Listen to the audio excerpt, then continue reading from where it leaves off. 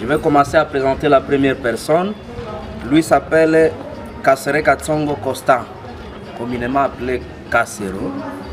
Mais son vrai nom, il s'appelle Boïka, ce monsieur ici que vous voyez.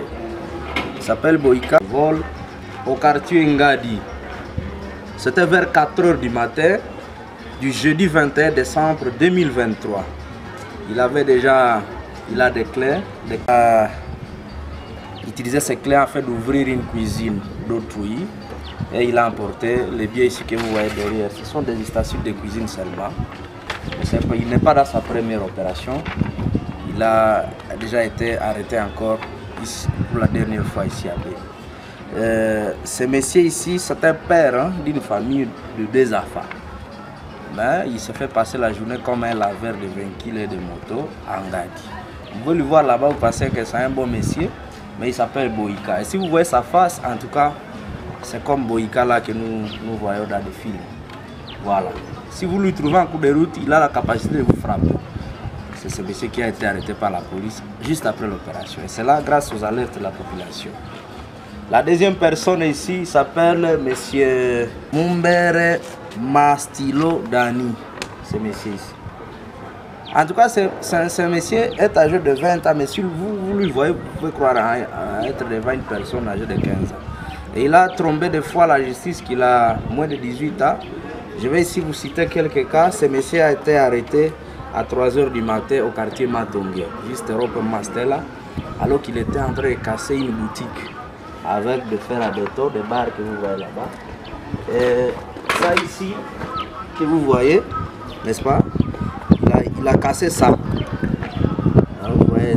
Ça, c'était sur une boutique là-bas où il a cassé avec ça. C'est lui qui connaît ce mode opératoire. Il connaît comment utiliser ces barres de fer fait de détruire euh, des portes détruites, des magasins.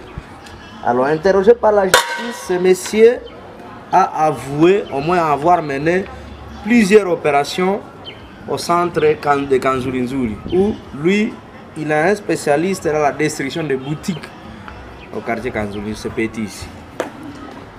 Alors, il passe nuit dans une maison de cinéma communément appelée Ciné à Kanzuri. Donc, il n'a pas une résidence. C'était en 2020. Il avait été arrêté, je crois bien condamné pour 10 ans. Libéré après 2 ans. Pas? encore arrêtés par nous-mêmes au quartier Ndindi. Ils étaient dans une infraction de violation de domicile. En tout cas, vers 2h du matin, on trouve un monsieur là, en train de dormir dans une maison, où il ne sait même pas où se retrouver. Lui soupçonnant d'être voleur, il a été interpellé. Nous l'avions encore arrêté, puis de faire encore à léger. Encore libéré.